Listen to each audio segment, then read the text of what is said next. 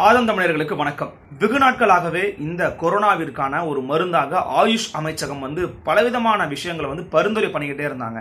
அவங்க பரிந்துரை பண்ணதில் மிக முக்கியமான ஒரு பரிந்துரை ஹோமியோபதி மருந்துகளும் அடங்கும் தான் அந்த வகையில் தற்போது சென்னை உயர்நீதிமன்றத்தில் தமிழக அரசு ஒரு பதில் சொல்லியிருக்கிறாங்க.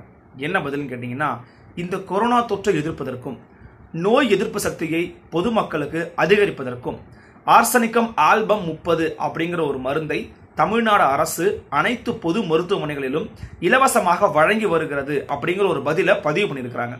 ஆனால் இதற்கு கேள்வி கேட்டது அல்லது இதனை கொடுக்க வேண்டும் அப்படின்னு ஒரு மனு தாக்கல் பண்ண நபர் யாருன்னு பார்த்தீங்கன்னா ஆதன் தமிழுக்கு சிறப்பு நேர்காணலாக மூத்த ஊடகவியலாளர் திரு மாதேஸ்வரன் அவர்களுக்கு நேர்காணல் கொடுத்திருந்தாரு பூவேந்தன் அப்படிங்கிற ஹோமியோபதி மருத்துவர். இந்த பூவேந்தன் அப்படிங்கிற ஹோமியோபதி மருத்துவர் அவர்கள் தான் சென்னை உயர்நீதிமன்றத்தில் ஒரு மனு தாக்கல் பண்ணியிருந்தார். அந்த மனுவில் அவர் என்ன குறிப்பிட்டிருந்தார் அப்படின்னு பார்த்தீங்கன்னா ஹோமியோபதி மருந்தான ஆர்சனிக்கம் முப்பது அப்படிங்கிற ஒரு மருந்து ஆயுஷ் அமைச்சகத்தாலேயே பரிந்துரை செய்யப்பட்டிருக்கு.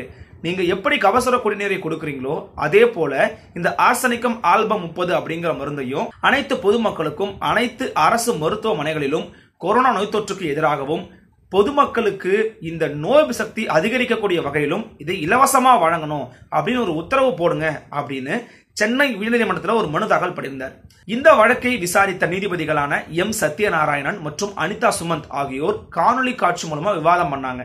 இந்த வழக்கை விசாரித்த இந்த நீதிபதிகள் மத்தியில தமிழக அரசுடைய சார்பாக அரசு வழக்கறிஞரான ஜெயபிரகாஷ் நாராயணன் ஆஜரானாரு. அவர் என்ன சொல்லியிருந்தார் அப்படின்னு பார்த்தீங்கன்னா இந்த ஆர்சனிக்கம் ஆல்பம் முப்பது அப்படிங்கிற மருந்தானது தமிழ்நாடு அரசின் மூலமாக அனைத்து பொது மருத்துவமனைகளிலும் இலவசமாக வழங்கப்பட்டு கொண்டுதான் இருக்கிறது அப்படிங்கிற ஒரு பதிலை பதிவு பண்ணியிருக்கிறார். ஸோ இந்த பதிலை கேட்ட நீதிபதிகள் ஓகே இந்த மனுவிற்கான விடை கிடைச்சிருச்சு. ஸோ தமிழக அரசு அதனுடைய அனைத்து பொது மருத்துவமனையும் இந்த மருந்தை கொடுத்துக்கிட்டு இருக்காங்க அப்படின்னு சொல்லி இந்த வழக்கம் முடிச்சு வச்சாங்க.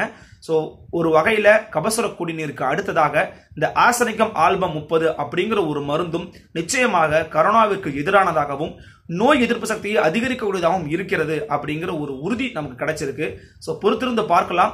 அடுத்தடுத்த நடவடிக்கைகளில் ஆயுஷ் அமைச்சகமும் ஹோமியோபதி ஆயுர்வேதம் யுனானி போன்ற துறைகளிலிருந்து நமக்கு இந்த கொரோனாவுக்கு எதிரான மருந்துகள் கிடைக்குதா இல்லையா அப்படிங்கிறத. நன்றி. மற்றொரு செய்தியோடு மற்றொரு நிகழ்ச்சியை சந்திக்கிறேன். வணக்கம்.